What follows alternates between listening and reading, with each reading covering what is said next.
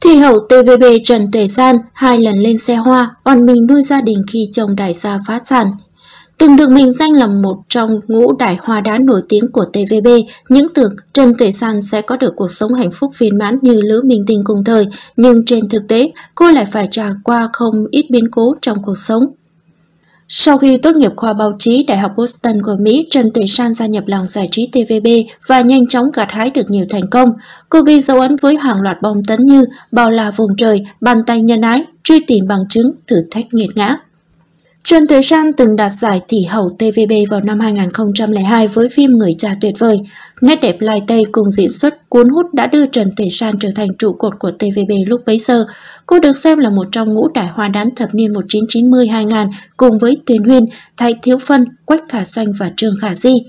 Trần Tuệ San có lẽ là minh chứng cho câu nói hồng nhàn bạc phần khi cuộc sống hôn nhân của hoa đán này gặp nhiều biến cố sau khi ly hôn người chồng đầu vào năm 2000. Mãi tới 6 năm sau, Trần Tề San khi ấy đang là ngôi sao sáng trên màn ảnh nhỏ TVB, cô quyết định chia tay phim trường, âm thầm kết hôn với đại gia Trung Gia Hồng, vốn là người quản lý cũ của cô. Sau đám cưới, Tề San tập trung cho các vai diễn ở đại lục và thưa vắng dần trên màn ảnh. Không lâu sau, cô quyết định giã từ sự nghiệp diễn xuất để có thể toàn tâm toàn ý chăm lo cho gia đình của mình. Tuy nhiên, biến cố lại liên tục xảy đến với cuộc đời của Trần Tuệ San. Tháng 10 năm 2013, khi người chồng doanh nhân tuyên bố phá sản, Trần Tuệ San và con gái phải dọn khỏi căn hộ xa xỉ. Mọi gánh nặng tài chính bị dồn lên vai người phụ nữ mong manh này và biến cô trở thành trụ cột chính trong gia đình.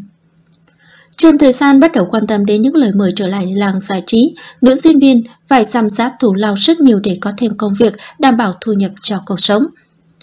Mặc dù cuộc sống rất bấp bênh nhưng tình cảm vợ chồng của cô không có gì thay đổi sau biến cố. Trần Tuệ San cho biết bản thân rất khâm phục chồng vì anh ấy mạnh mẽ hơn tôi, tài giỏi hơn tôi. Nữ diễn viên lúc nào cũng xem gia đình là số một và luôn động viên khích lệ chồng. Cuộc sống là như vậy, khi bạn không thể kiểm soát được những việc đang xảy ra thì điều cần làm là kiểm soát bản thân, có trí tuệ, ắt sẽ làm chủ được cuộc sống của mình. Có thể nói nhan sắc hiện nay của cô dù chịu nhiều ảnh hưởng của thời gian, cuộc sống nhưng vẫn giữ được nét quý phái sang trọng. Cuộc sống hiện tại gặp không ít khó khăn, tuy nhiên Trần Tuệ San chưa bao giờ hối hận về việc lựa chọn hôn nhân của mình. Với cô, gia đình và con cái chính là động lực để cô tiếp tục sống tốt, hoàn thành các vai diễn của mình trong tương lai.